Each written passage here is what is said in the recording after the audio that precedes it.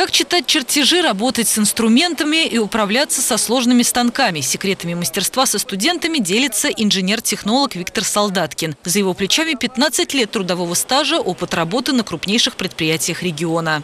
Не каждый студент э, сразу готов там приступить работу, он знает.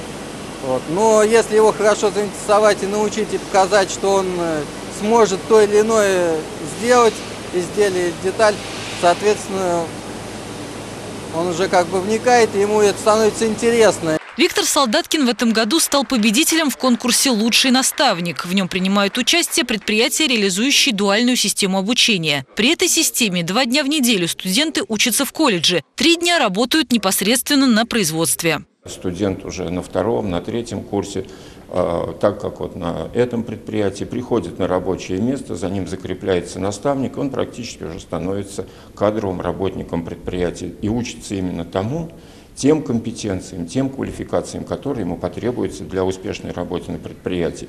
Тем самым сокращается время его адаптации до минимума, Работа по организации дуального обучения в ПАУ «Кузнецов» началась 4 года назад. В качестве базовых учебных заведений выбрали 4 колледжа. Определили профессии, которыми должны овладеть студенты. Это токарь, фрезеровщик, оператор станков с программным управлением. Студенты осваивают э, те технологии, осваивают производство, которое а, существует у нас на предприятии и как бы, получают первые навыки своей рабочей профессии. У нас ежегодно трудоустраивается порядка 60 человек.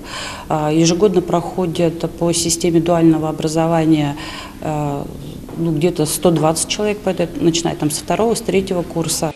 Сейчас в регионе порядка 800 наставников. За ними закреплены более двух с половиной тысяч студентов. Большинство из них продолжают трудиться на предприятиях. Самарская область занимает лидирующие позиции в реализации программы дуального обучения, что позволит выполнить показатели национального проекта образования, который ставит задачу к 2024 году. Работать по профессии должны порядка 70% выпускников заведений среднего профессионального образования. Лариса Шлафаст, Константин Головин. События.